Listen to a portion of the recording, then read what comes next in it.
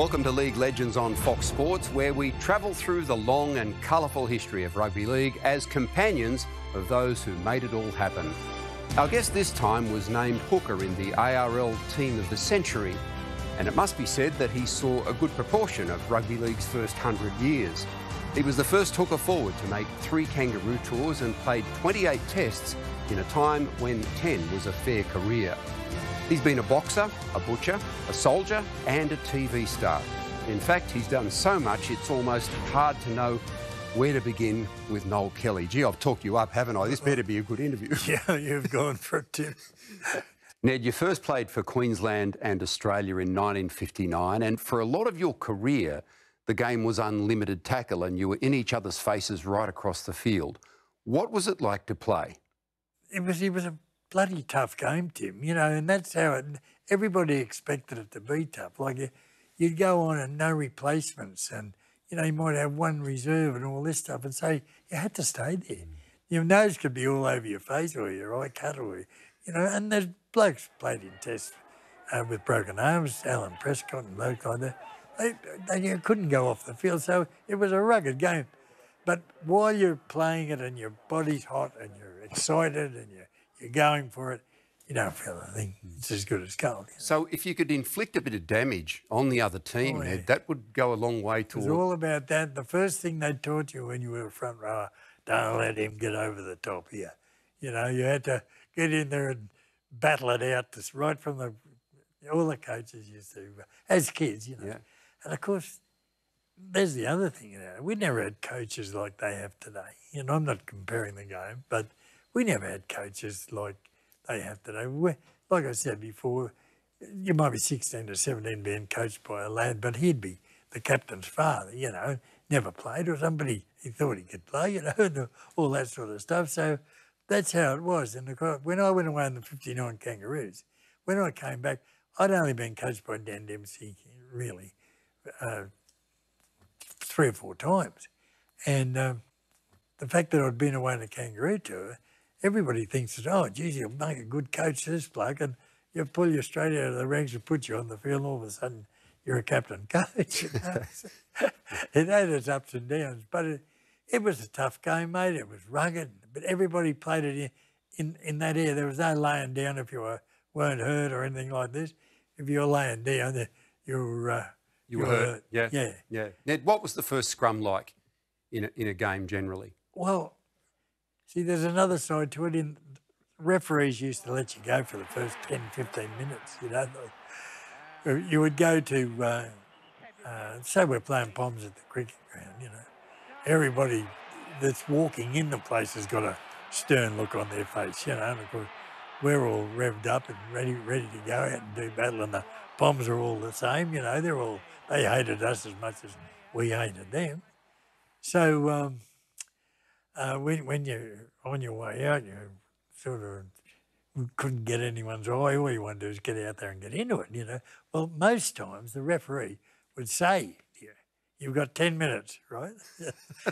10 minutes of mayhem. You let it go for it. Yeah, go for it. Yeah. But once the 10 minutes over, you're off of any of your nonsense, you know.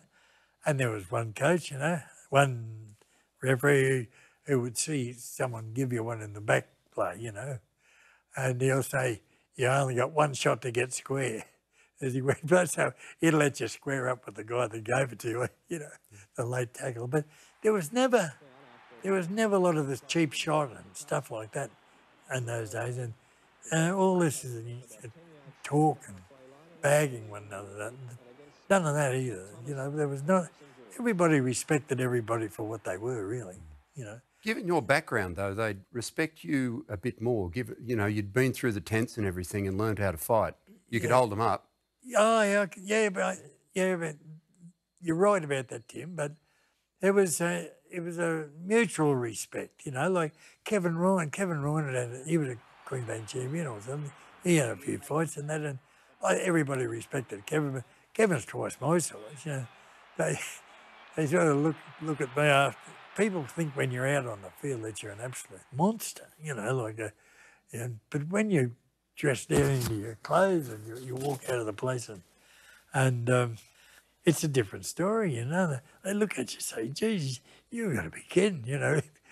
but uh, that's how it was. You know, yeah. Like we were walking in the ground one day, my wife and I, Chris, we were walking in and uh, this kid's walking in with his dad and the, and the kid said, that's Noel Kelly, that's Noel Kelly, you know. His father said, come on, he's not half the size of him, you know. and I had to give the old man the nod. That's me. Get him on side, yeah. Get to get him out of trouble with his son. But I mean, that's how it was, you know. Ned, do you know how many times you were sent off? Yeah, 17. But see, there was uh, Tim. Uh, I know I've said this a thousand times. Referees didn't just understand me, but that that was only that was only a way of just uh, putting it, I'd yeah. say. But lot, the times that see when you're a hooker, right? You got, the, the rule says that you've got to have both your arms over the top. So well, don't forget when when you haven't got the loose head, you know, which means that you're you've got the the hook the other hooker's head's here. So how the hell are you supposed to see the ball coming in? So you have to drop a loose arm. And you go, and that's where all the trouble starts. So as soon as you drop a loose arm, the bloke over there lets one go and all this. Well, and of course the Poms are a specialist at it. They they'd walk to the referee as the scrum's going down there, say, hey, uh, get his arms up and all this stuff, you know. He got loose arm and all this, you know. And the referee say, get your arm over the top. If you put your arm over the top down, the belt hell out of you, you know. So the, the only only way you could um, only way you could square up that is grab a jumper or something uh, of the, the one that came through and just hang on to it until everything is settled down and get his number, you know. And then I got caught a lot of times like squaring it up because you can't square them up in there if you're a hooker. You know, you, you got both your arms over your heads. out in the open, I'd have to. Know, I, had, my, I had no brains. I had a short fuse. You know, as soon as I got near, I'd give it to them. You know, so it's all good now. How different was it then, Ned, to be a hooker in the game of rugby league? Explain Tim, you can't the believe evolution of it. Like in this generation of people coming through watching rugby league, it's hard to believe, but a lot of them don't even know what a scrum is. You know, with what you see today, it's just getting people out of the road, you know, or anybody goes there. But in uh, in our day, there was a front row prop on the open side. There was a hooker on the blind side prop, and they all had a job to do, as well as the second rowers had a job to do, as did the lock and the half. And of course, uh, the hooker in those days, mate, was was his job to get the, the ball. He was the bloke that got dropped if we didn't win the scrums, and you, and there was a big saying nowadays, if you, you got to have the ball to win, you know, score tries. So there were many battles in there that no one knows anything about. It was wild and woolly, but it was fantastic to play the game as a hooker because you had a uh, um, a battle going with, with the other hooker and the other props, you know, and everybody's pulling you back out of the thing and giving you biff and all this. You're lying down with a loose arm, and the hookers were all known cheats. We're like they called us cheats, but you have to had to do things. We had to get the ball out with our feet, and the halfbacks were cheating, putting it in with their, with their hands. So it makes it a bit different, you know. But you wanted to run with the ball, though, yeah. too, didn't you? And they yeah, normally didn't do that much. No, well, it was along that you're right there, Tim. It was a it was an era just on its way out of the, the hooker being the bloke who just walked from scrum to scrum, and uh, he he didn't, doesn't didn't play the part anywhere but to look after the middle is and win the ball, of course, you know. Well. Uh, when Ian Walsh and I, I was a Queensland hooker in that year, and Ian Walsh came with the New South Wales side, and we um, we beat New South Wales for the first time for, for 100 years. It's reversed to what it is now. And only uh, New South Wales used to match us up, you know. So uh, in our very first year, we won the Bulimba Cup. The same front row, and Jimmy Patterson and Elton Rasmussen, Joey Baker. They, uh, we uh, made the uh, Queensland side and beat New South Wales. We the uh, the uh, Kiwis were here, and uh, we beat them in the series. Then the three tests, and then the, the three of us plus and the five of us found ourselves on the kangaroo trip all in one year. Mm.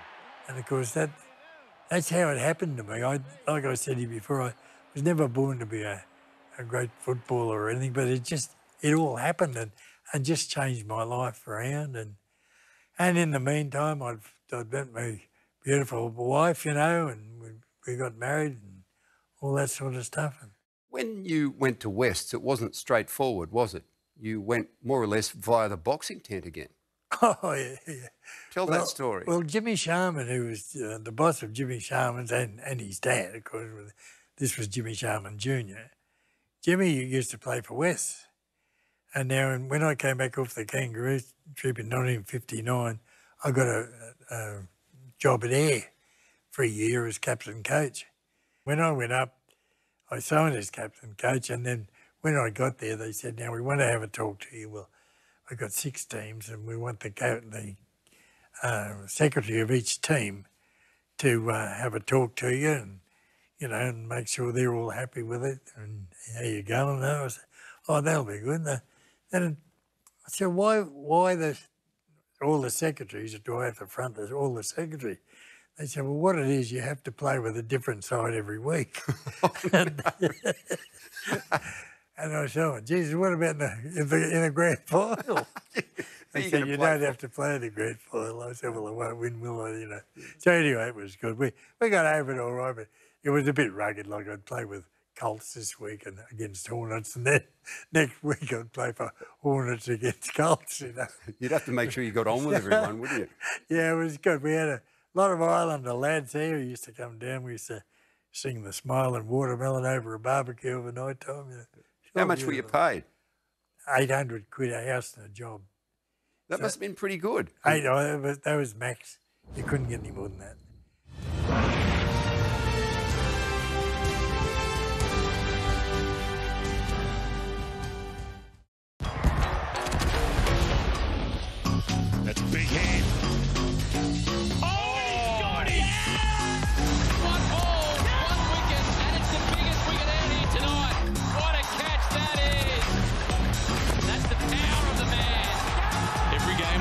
No ad breaks during play.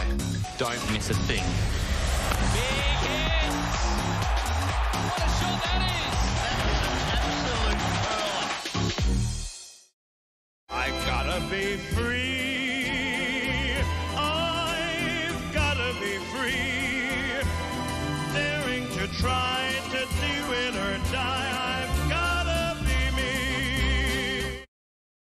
Shop at Chemist Warehouse and stop paying too much for big brand fragrances. Get Calvin Klein Euphoria for Women 100ml, $49.99. Or Calvin Klein CK 1 200ml, just $34.99. Shop in store, online, or click and collect from our house to yours. Switch on a Daikin Alira X split system with advanced streamer technology to remove more than 99% of harmful indoor air pollutants and surround yourself with cleaner air this summer. Daikin, perfecting the air. What a wonderful day. All the luck in the world for me. That's the way I do it. Nothing to it. Wonderful day. Before a world of heroes and villains, one power ruled it all. Black Adam. Heroes don't kill people. Well, I do. Express release available now in Foxtel Store.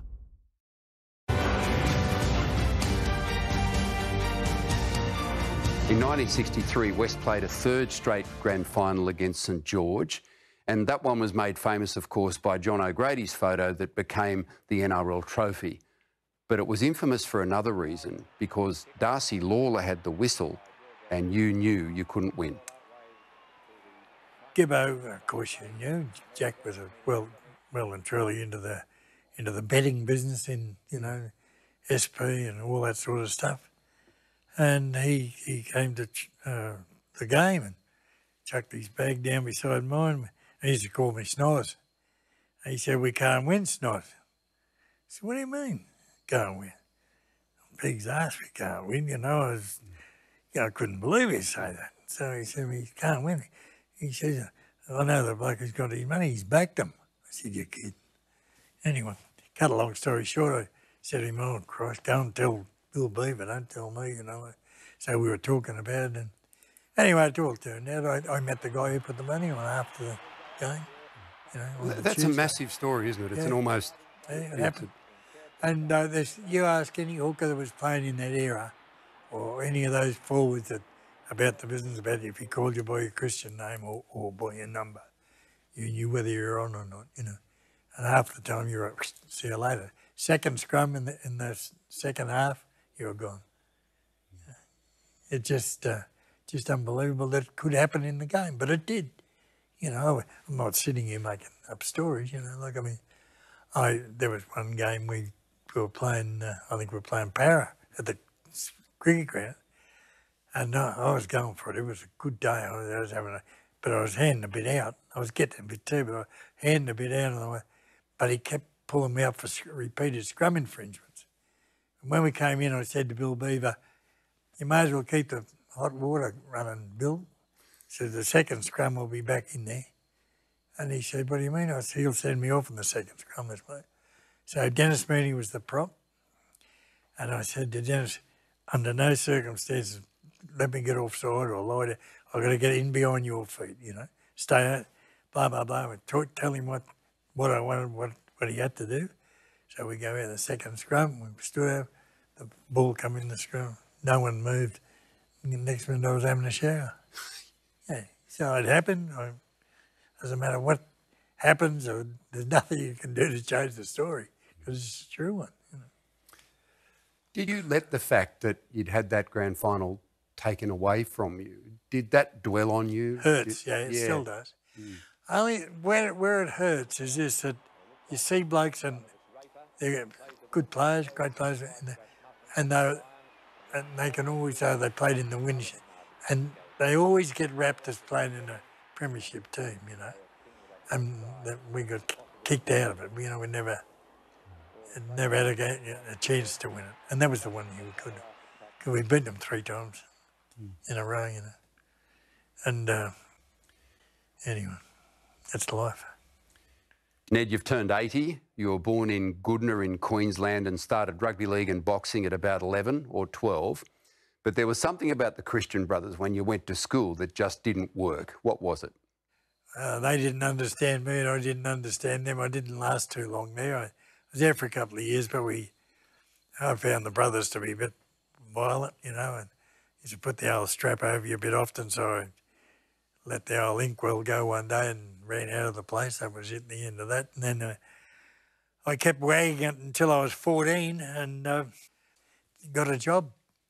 So I was always the kid that was the the iceman and the milkman and the baker. Everybody had a horse and cart to, to deliver their goodies in, so there was always a job. You could always get two bob or three bob for doing something. And again, what about rugby league at that point in your life? It was about that stage, about when I was 14, 13 or 14, I uh, liked to play rugby league. And then I was playing with Goodna. And then as I was growing up, I, I also uh, participated in boxing a lot. I, I love boxing. And, and then uh, I used to go to a gym in Oxley. It was, again, that was a seven mile trip in, uh, in the train. Go down to Dick Dick Gunthorpe's uh, gym at at uh, Oxley, and he would train down there. And then he'd about four or five of us he would take to the different bouts in different uh, countries, places, you know. So we had plenty of fights there, and that was all good. I loved that. But that that all, and, and lucky I did because I, I was able to hold my hands up all when I did break into the big time, you know. But Tim, I was never ever born to be a a rugby league star or a rugby league Australian representative. It was was just part of. I always worked hard, so I probably worked hard on the uh, on the field as well, you know. And uh, when when we'd uh, we'd, I think we won a couple of junior uh, competitions in Goodna. But when I got to about seventeen, I think it was, uh, I had to go to Ipswich to play, and then um, because they had senior grade, you know. And I went to Ipswich and I played for a year with Railways. And then Gary Parcell um, and his brother were playing at the Brothers Club. So I'd been to the Brothers School. So I, and Dan Dempsey was the coach of Ipswich Brothers. So I went to Brothers. and um, played there for a couple of years. But, but and it was there that um, Dud Beattie from Railways, Gary Parcell, and I from Brothers uh, formed um, the front row of the Ipswich Bulimba Cup side. You played a lot of football with the great Harry Wells. How good was he? Jesus, no better player than Harry Wells, I can tell you. That's Harry a big. Wells- That's a big call, Noel. Oh, he had these big thighs on him. Reggie was a great player. Reggie has you know, different type to Harry. But it- Because Harry sort of mentored Gaz. Uh, didn't yeah, he? yeah. Oh yeah, and uh, and Harry could handle it, and he he could play. He, in big legs, I mean, so, geez, I saw a short on him again the other night. and Just realised how good he really was. You know, he was a wonderful player. You spent your last years at Wests as captain coach, and they called the team Kelly's Kids. What was that like? wonderful, uh, wonderful feeling to be a captain coach. You know, like I mean, because when I retired, I went as a non-playing coach to North, and I was so bloody frustrated. I couldn't believe it. You know, like how anybody could could well, be a wouldn't coach. you be a bit frustrated at Norths anyway? Oh yeah, I got everything I deserved, but I had a wonderful time at, at North. We we did well. We we had know, some good players. We had John Gray and uh, Timmy Pickup. We had some and Brucey Walker, and, and Rossi Warner. They we had some excellent players there, and uh, but they a lot. Of, the team had a lot of bad habits. You know, they they could find a, a, a way to lose. You know, they, real good teams always just seem to win in the last bit, but North wouldn't matter if you were down by a point in the last half a minute, you'd get beat. You know, like Let's talk about your TV career. oh yeah, yeah. that was well, interesting, wasn't it? well, Talk- yeah. Talking to you now, you, you can totally see why they, they Rex got hold of you. Well, do you think there's more spite and violence in the game now? Well, I, I think this. I think that, yeah, th- in different ways. I've always hmm. advocated a punch in the nose never hurt anyone. But I'll tell you what. Didn't do any good. This elbow, what about yourself? Ugly Rex Mossop was probably probably the most under, uh, well, well, not underrated, but probably people looked at Rex the wrong way. I reckon, you know, because he's Rex had an air about him, you know, and he did have an air about him. And when he stood up and was counted, you know, he, he was someone, you know. Oh, but yeah. When you sit down and think about it, Rex Mock was, as a footballer, he represented rugby union for, for Australia. He played rugby league for Australia. He played for the Kangaroos, and uh, vice captain in 1959. And when the, England, when the Poms were at their top, he held down a spot with Leigh in uh, in England. You know, and I mean, and ran his show for 25 years. Like I mean, not not a bad, not a bad uh, rap for someone you can bag. You know, but I used to bag him myself. You, You know, did, but- yeah. Oh, give it to But him. he was your teammate, I guess. You, Oh you yeah, we were roomies in 1950, in 1960 World Cup. You know. What was he like as a roomie? I, Oh, couldn't, I wouldn't imagine sharing a room with Rex Uh, no. Yeah, well, he got plenty back, I can tell you. you Yeah, I bet he did. We ended up square. now, you're on the panel with Col Pearce. He used to send Col. you off all the time when you played. Yeah, yeah, but he was he, he was nice to me when he did it. You and Ian Walsh were great opponents at state level and great mates on tour, and you even looked a little bit alike. And that led to one of the best tricks ever played on one of you during an actual match. Tell us that story. when we when we were on the field, some referees used to call him Kelly and me Walsh, you know. So we were playing Wakefield Trinity one day, and uh, anyway, the referee kept calling him Kelly, and like he was going to send him off. He, there's no doubt he was dirty on Kelly. So I'm on the prop. Anyway, everything's going along, and he's saying, "Get your feet back, Kelly," and all this, and and Walsh he's saying to him, "I'm Kelly." I said, oh, "Shut up, get on with it." You know, anyway, it's going along. So with that, this guy comes through the scrum and whacks Abdul, you know. So I thought, you mongrel, but I couldn't get at him, see. So anyway, the, the next scrum comes down. I flogged him. I hit him right on the whiskers, you know, this this guy that I squared it up otherwise.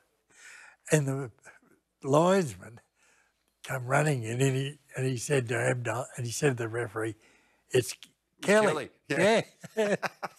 anyway, see, he's saying, It's Kelly, sir. And uh, next minute, the referee's saying to Abdul, Kelly, get off. eh?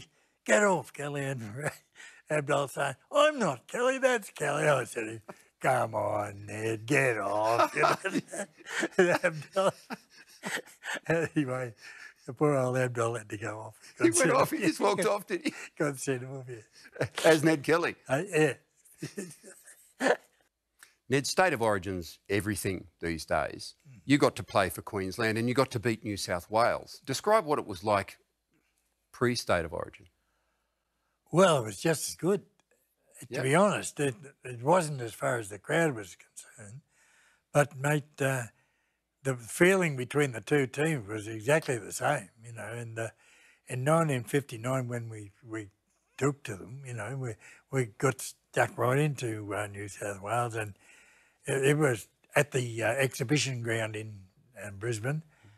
And uh, So for intensity, Oh, it was oh, it was the equal of yeah, yeah. really. Oh, yeah. But I suppose 30,000 people there, Mm. you know. And I mean, there wasn't anywhere near the people at home watching it on the telly or anything like that. But I mean, you had to go to the game to see it.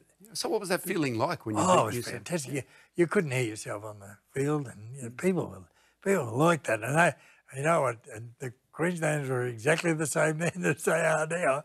They were a bit partial, let, letting a can go and all that stuff. Is know. that right? Yeah. Oh yeah, yeah. No problem at all. When you were playing for Wests, were you just a footballer or did you have to do other stuff as well? I was working three jobs, you know, and playing for West, and just to get some money to get a deposit on a house, you know. So, um, and that was all along the salt water. I used to drive drive the Ghost Train and the knock 'em down stalled on the Manly Pier Sundays and that. And we did, play, didn't you? play Yeah. Saturdays, yeah. Yep.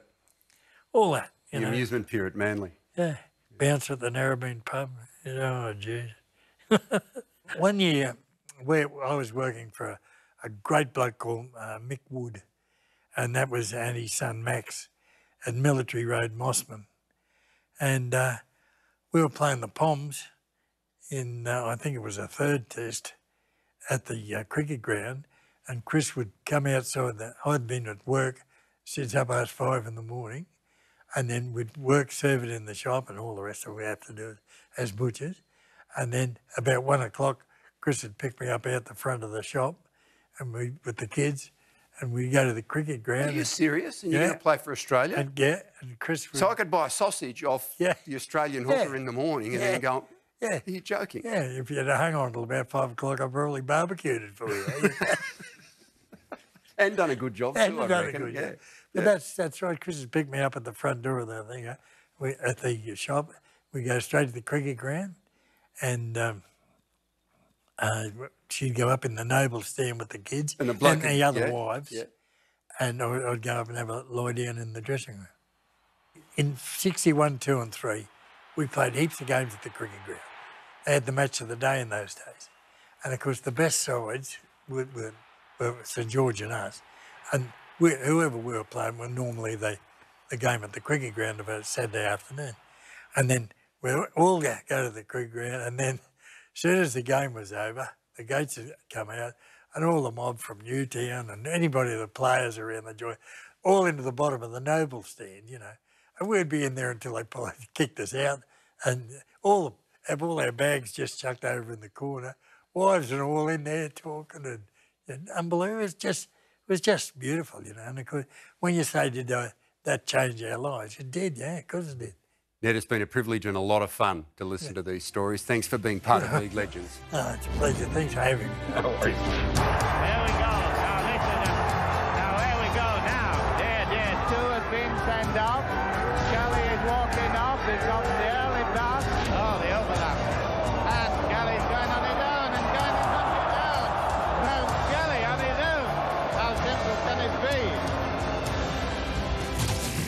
This has been a Fox League production.